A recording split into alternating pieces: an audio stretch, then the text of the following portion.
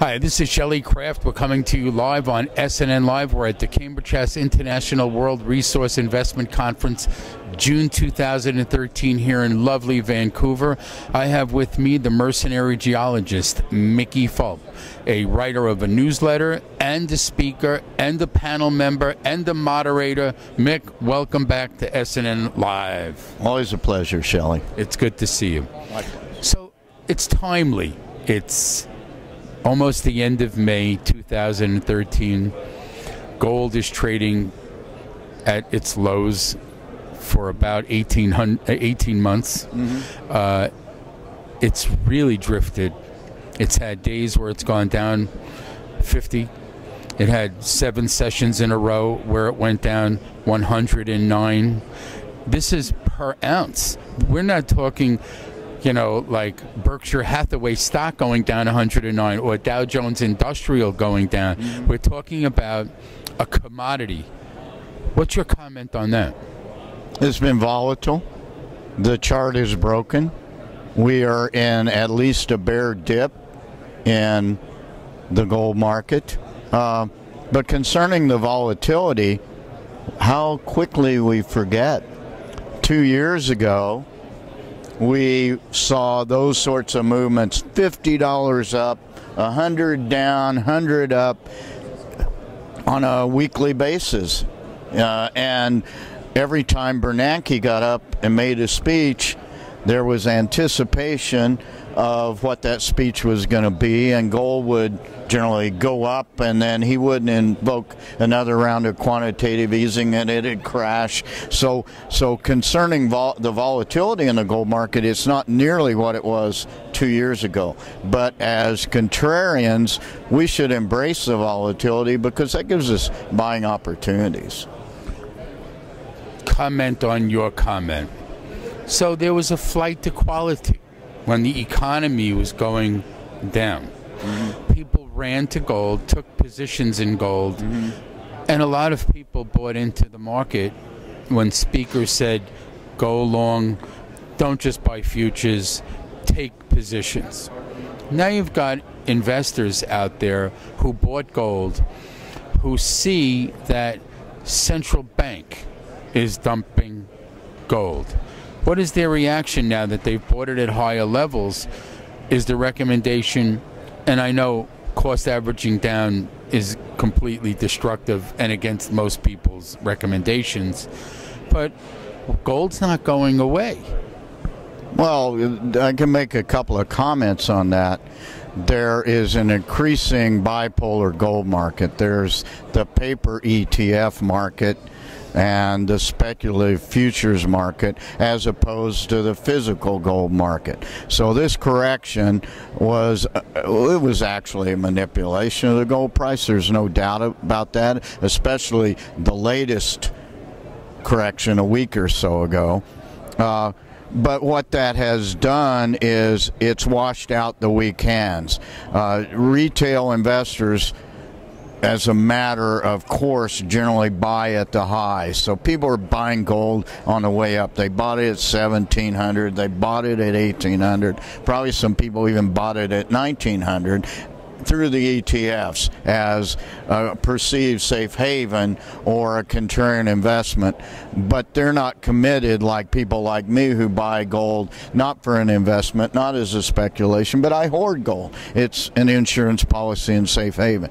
So we saw that washout in the paper gold market. What did that do? That created a massive buying frenzy in the physical markets, specifically focused in Asia.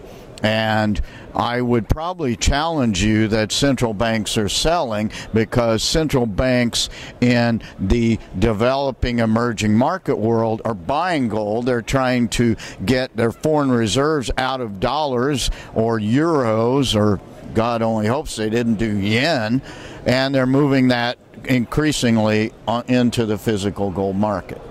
Well, I guess we're getting back to your original premise when gold goes down, it creates opportunities. Absolutely. And those people who are looking at gold as a physical buy to hoard it, quote unquote, right. they're doing very well in this market because they're buying right. Right. And I bought it. Uh, in the first correction, and I haven't bought in the second version. Number one, because I don't have that cash available right now, but I intend to buy more gold this summer. Uh, by the end of this summer, I will have more gold bought uh, at, I think, a very good price. Whether it's lower or higher than I bought when I, you know, uh, all in, I think I paid 14.67 an ounce with a premium and that's pretty good price. I like that price. If I bought right now with premium it, with premiums, it'd be about the same. So I'm just adding to the to the hoard. I don't sell gold. You know, it's my insurance policy. It ensures my financial viability and my freedom, and it's a hedge against these crazy markets. So I got another one of my lines for you. So when does the market go from the hoard to the herd? Hmm. The physical market or the paper market? Um, well, I think the well, herd think is going to be a turn. The herd is is always there.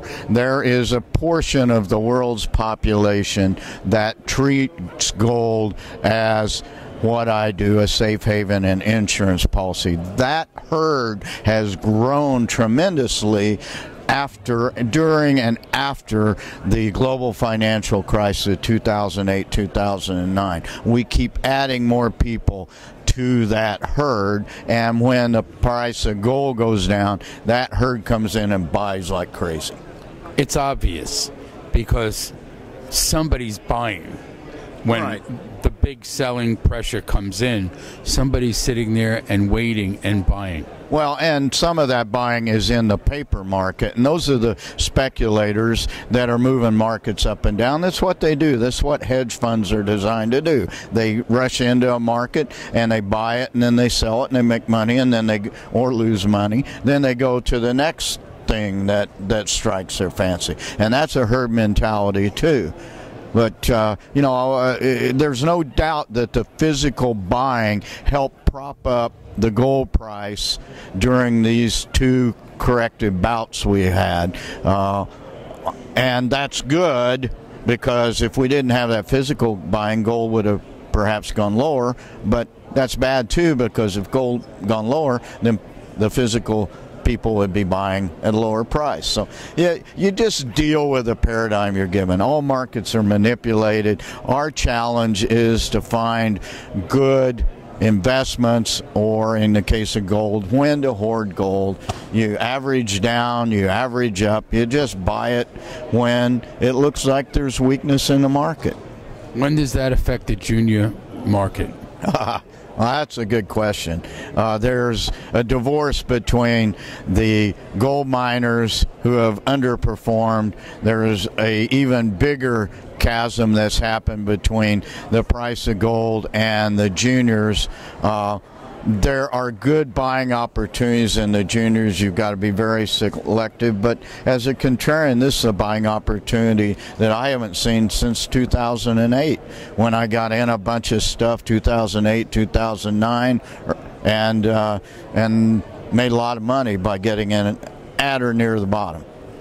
Ladies and gentlemen, you have heard it from the mercenary geologist himself. What's your website? Uh, mercenarygeologist.com. The audio portion of this interview, mercenarygeologist.fm, increasingly active with almost 30,000 Twitter followers now at Mercenary Geo. We add a little bit of levity to those tweets all the time. Mr. Levity himself, Mickey Fulp, the mercenary geologist, newsletter, speaker, commentator, raconteur. I knew you were going to come out with that. and a heck of a good arm left-handed. Yeah, well, we're going to have a catch here uh, before so, this conference is done. So this is Shelley Craft coming to you on SNN Live. We're at the Cambridge House International World Resource Investment Conference, June 2013, right here in lovely downtown Vancouver, BC, Canada. Thanks again, Mick, for coming Thanks on. Thanks a lot, Shelley. It's always my pleasure.